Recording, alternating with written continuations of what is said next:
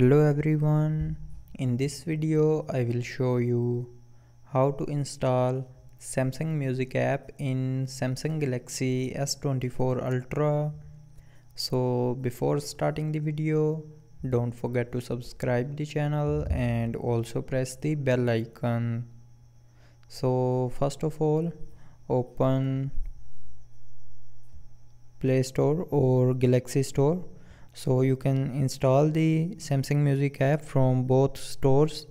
So choose a store and then go to the search bar and search Samsung Music.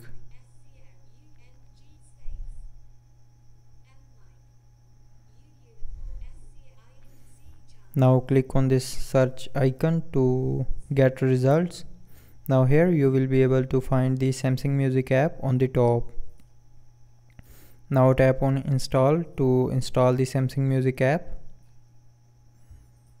And when you will tap on install it will start downloading the Samsung Music app.